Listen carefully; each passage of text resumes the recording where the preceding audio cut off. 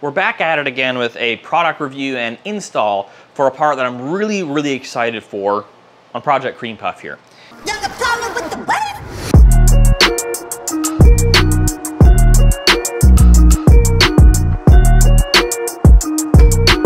In this video, we're installing these guys. These are the Annex Cascam uh, upper strut mount plates.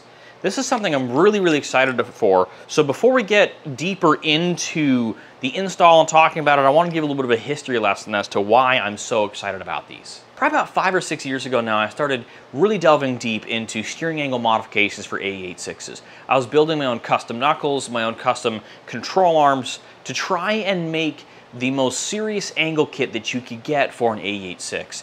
And then I started really playing with the steering suspension and geometry to try and get things as best as possible, in my opinion, at least, for the AE86. And one of the things that I ran into is that as I increased positive caster to get more self-steer, the 86 would be even snappier on transition, uh, I ran into an issue with clearance of my fenders and my bumper.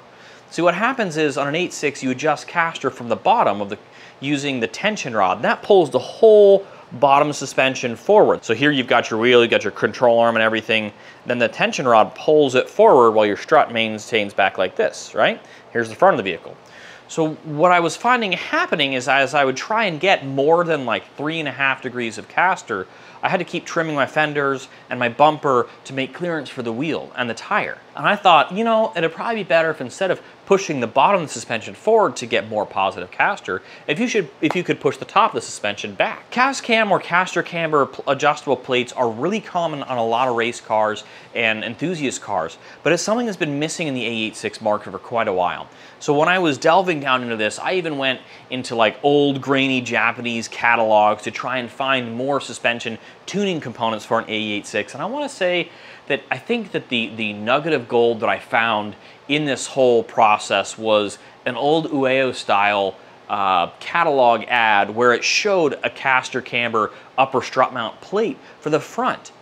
But I could never find anything other than this one little grainy picture that suggested that's what it was. When I heard the Annex was coming out with a set of their own caster camber plates, I actually reached out to, to Grant at Annex and Battle Garage, and I was like, dude, I'm so excited about this. I'd actually talked to a few other companies over the years to see if anybody was going to make something like this, so that way you could get better caster for drifting and could really dial in your steering and suspension geometry without having issues where you're having to cut up bumpers and, and, and trim away on fenders. And I was so excited that Annex decided to come out with these. This is a product that I think that has been ne necessary and needed in the AE86 market for a really, really long time.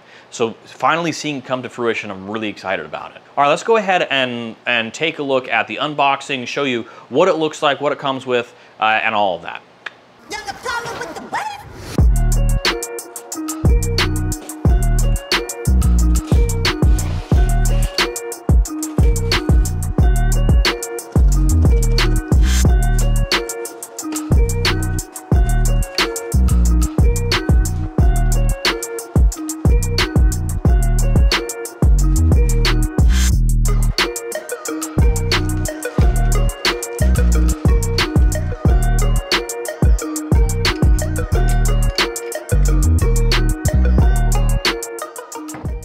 Am a little restricted on space. As you've seen in some of my other videos, I'm in the process of selling my house. And normally I do stuff like this out in the driveway, but because I'm trying to make keep the house look pretty nice, I've got everything stuffed in the garage. The install for the left and right is gonna be the exact same. Uh, so due to, to space constraints, I'm just gonna do the video of the right side, but you could just copy pasta all the install instructions to go from the right side to the left side, no problem. We're gonna swap these around with pretty much everything on the car. So to do that, here's what we're gonna do. We're gonna start by undoing the Allen set screws that hold on the dampening adjusting knob. We're gonna pull that guy off. We're gonna zing this nut off. And once we get that kind of situated, we're going to undo these three nuts, drop out the top plate, and then we're gonna put the new top plate in and reassemble.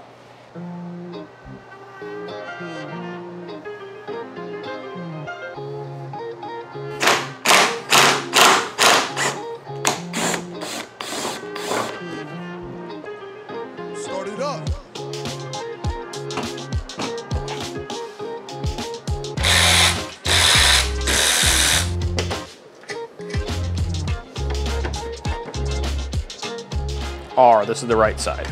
And looking side by side, there's a couple things you can see. This is your caster adjustment that these studs can slide, but also look how much camber adjustment there is on this top hat versus the old one. Significantly more camber adjustment available on this. The bottom side looks pretty similar, uh, just a few small differences obviously because the different, uh, the different mount design for the middle. But for the most part, it's, it's pretty similar on the bottom. One of the nifty things is picking these up and feeling them side by side, feeling how heavy they are. The caster camber plate is actually quite a bit lighter than the standard camber plate. We're gonna undo this zip tie here. When we do that, we've got this that's gonna drop out of the bottom, so make sure you grab that. That's gonna go on top of your strut. Pull the old one out here. Here's the new one. Drop that right on. Now we're gonna bring this up from the bottom.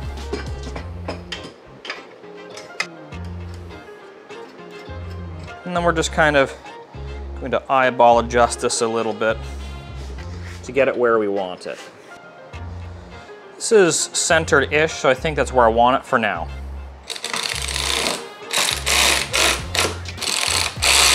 Now we're gonna guide the strut up from the bottom and be ready to put this nut up on top.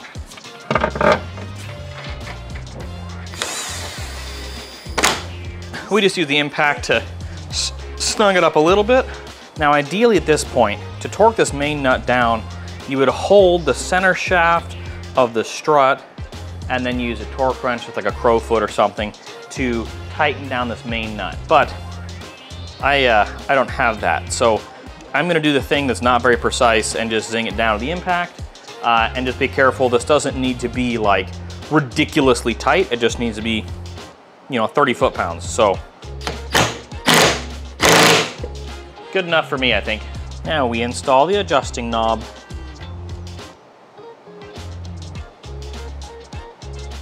Done.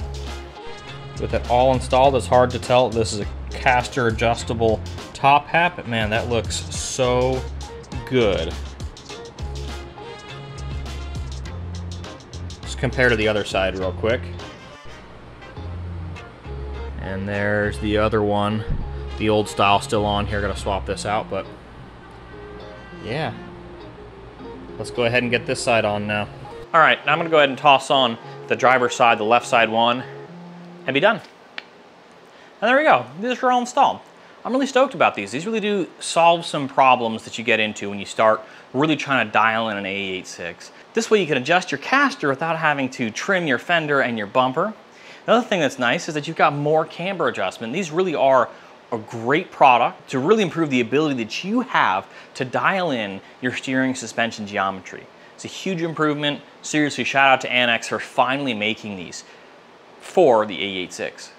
If you like videos like these on AE86 install parts and technical breakdowns and all that kind of stuff, make sure to check out my channel. I've got a bunch of other videos, especially on like BEAMS swap things. Like, comment, subscribe, share all that stuff. Thanks guys. Every bit that you do helps me out immensely, which helps me to make more content that you guys can watch and enjoy.